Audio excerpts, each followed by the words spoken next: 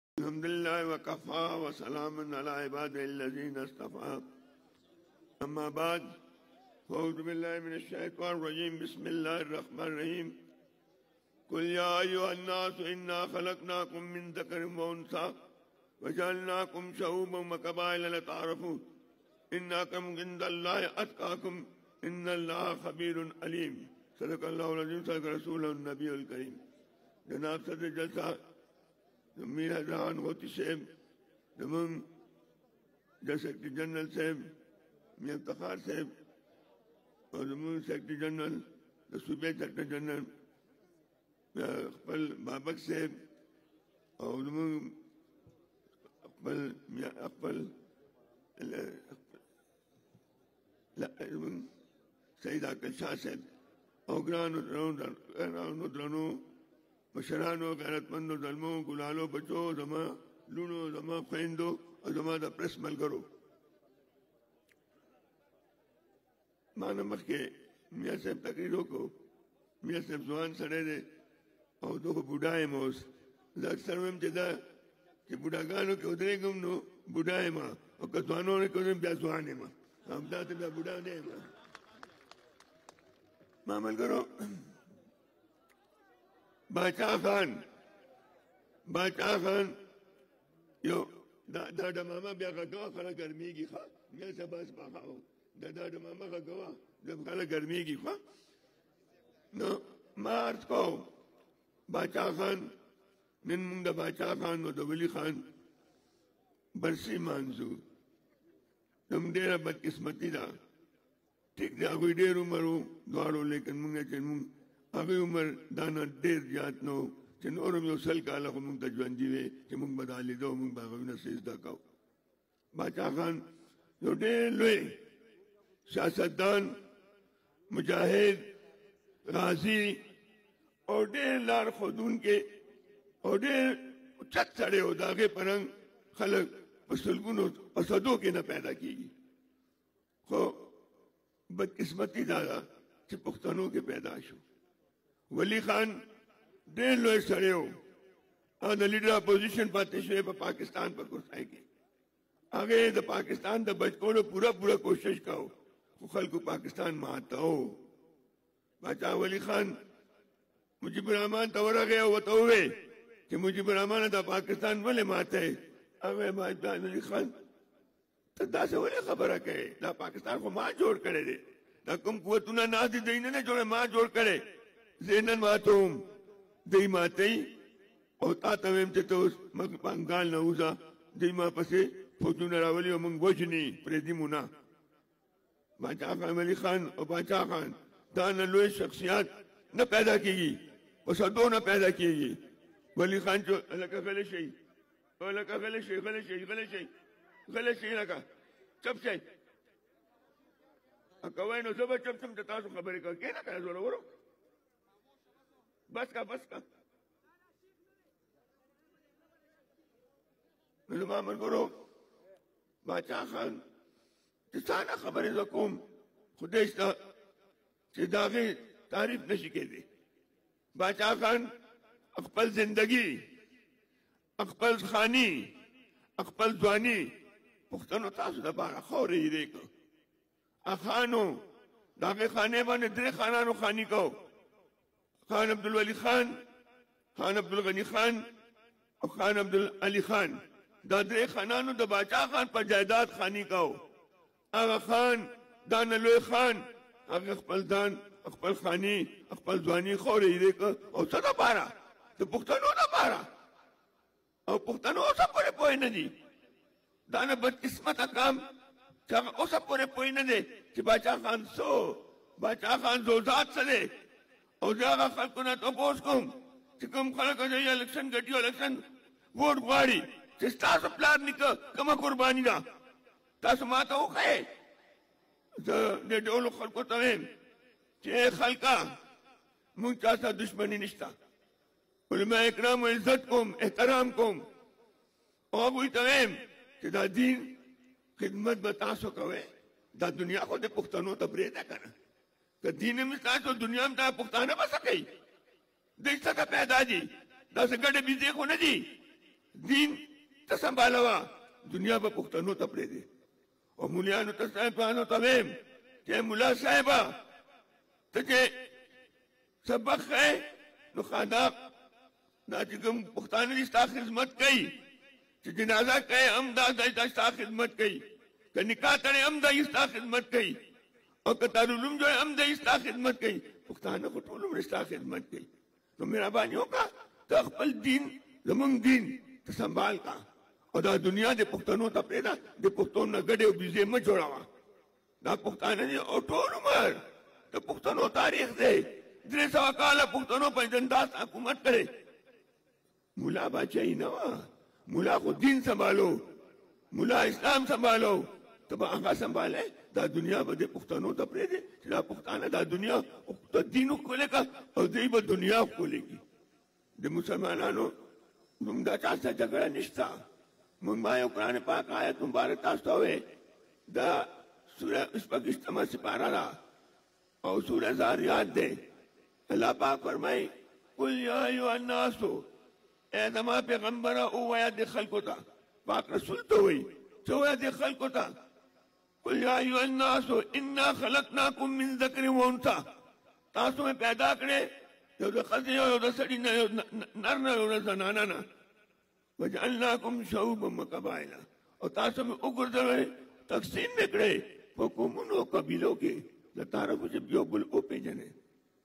دا خو مرغان هم یو بل پېژني بل وپېژني د خپل حقوق وپېژني او د بل حق هم وپېژني نو خدای تاسو ته وایم پښتنو الله پاک وایي چې تاسو خپل حقوق وپېژنئ او خپل حق ستاسو څه دی نن میا صاحب وویل تاسو ته چې اتلسم ترمیم هغه یو ډېر لوی ډېر لوی کار دی چې دې نېشنل پارټۍ او پیپل پارټۍ په شریکه د ایټین امنډمنټ کړی و دې ته اتلسم ترمیم وایي دې کې زمونږ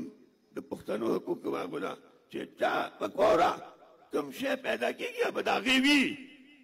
لیکن دې موجوده حکمرانانو دا شاید دی نه مني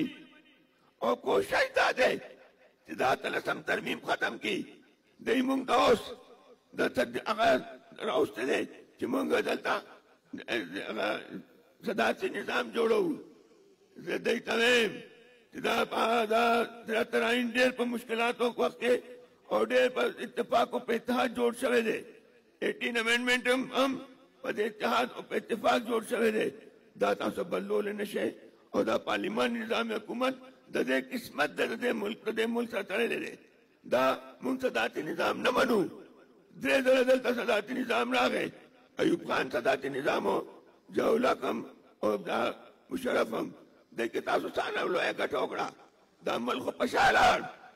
نن تاسو خبرې کوئ زه دا وایم که هر کله چې د قومونو او د ملکونو فیصلې غیر سیاسي خلک کوي او ملکونه او قومونه تباه کېږي لکه موږ نن موږ تباه نن د موږ د ملک دیوالیا دی دیوالیا شوی دی خو داسې ده چې ویل چې زه به ایم ایم ته نه ایم ایم ته به نه ځم چې زه به خودکشي وکړم دا ځکه لاړ چې مل دیوالیا و چې ایم ایم راشي او دا ملک د دیوالیاتوب نه بچ کړي نو زه تاسو ته دا عرض کوم چې نن دا ټوله مهنګۍ چې ده دا صرف دوه څیزونه پسې دي یو ډالر چې ډالر ارزاني هر څه به ارزاني که ډالر ګراني هر څه به ګراني ولې چې بهر نه شی غواړی به ګراني او بل اټول چې ګرانی هر څه به ګرانی د یوې چارځای کې ګرانی ده اے خانه دا ته په دې ستاسو په دې دا نوې تعلیمونه چې دی کې به تاسو دا کته شی دی کې راغلی روزانه تاسو کته شی هندستان کې ډالر پنځه ویا روپۍ دی پنځه ویا روپۍ او زما ډالر یو سل پاتیا روپۍ دی نو څوک مخکې دی تاسو تباه کړو دا ملک هغه خلکو تباه کړ چې کوم خلک غیر سیاسي خلک دی او په سیاسي فیصلې کوي موږ یې تباه کړو ورسره ورسره افغانستان هم تباه کړ په افغانستان کې نن کم حال دی دی وی چې حال خراب نو پرونه پر خاص افغانستان آبادو ما ته اشرف غني دا وې مونږ تلیو هغه وې چې په افغانستان د یو کثیره قرضدار نه دی د بار د دنیا مونږ په قرضو کې ډوب یو هغه قرضدار نه نن دلته خلکو ته روټۍ نه ملوي نو دا تا چا وکړ د دې ته پوس هم تاسو نه کیږي زمونږ دا قوم دا پښتون قوم تاسو د لاسه تباه برباد شو نو هم که چې یو نه یو روپۍ نه جوړېږي په ما باندې تاسو په کم قیمت خرڅوئ مونږ دته مونږ دا مونږ پښتانه ډېر په خوند یو که نه تا به پرون به سټېج باندې ولاړ او بلونه دې سوځو تا نه تپوس کوم عمران خانه نیازي صاحب ته راته تپوه دا اوس به مونږ څه کوو دا خو هغه نه بجلي نور هم ګرانه کړه نو اے پښتنو لیک پاسه لیک پاسه مونږ تاسو جنگ ته نه بیایو لیک دا نه ایمانداری تیر کې چې پښتنو لکه د سندیانو غوندې غیرتیان شي نن سندیان یو یو یو ویان کې نن نه دو پنځوس کاله دو پنځوس کاله پخې بټو حکومت جوړ کړی حسین کې د پیپل پارټي نن پورې دو پنځوس کاله وشو نن پورې د پیپل پارټي حکومت دی ولیک هغه غیرتیان دی یو ځای ولاړ دی یو لیډر پسې ولاړ دی اصله تللی دی خو هغوی ولاړ دی لکه غیرت لږه پښتو ولې هلته ملیان صاحبان نشته هلته پي ټي آی نشته هلته مسلم لیګ هر څه شته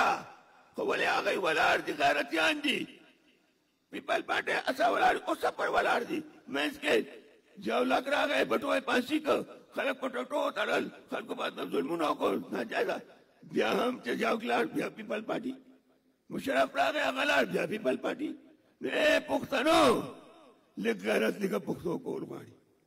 او پنجابیانو ته وګورئ